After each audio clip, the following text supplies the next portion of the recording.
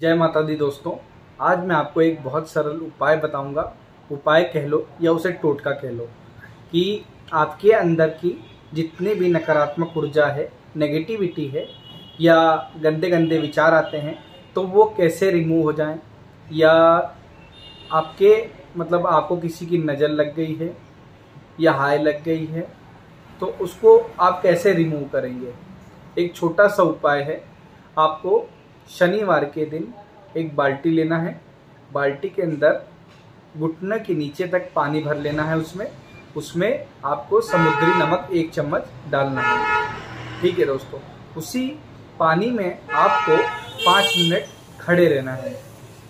जब पाँच मिनट खड़े होके जब आप बाहर निकलें तो वो पानी को आपको फ्लश कर देना है और उसके बाद वो बाल्टी को अच्छे से धो के आपके अपना हाथ मुँह धो लेना है। इससे क्या होगा?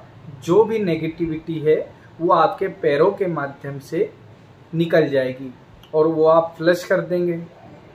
ठीक है दोस्तों? ये बहुत आसान सा उपाय है। आप भी आजमाइए और कमेंट में ज़रूर बताइए। जय माता जी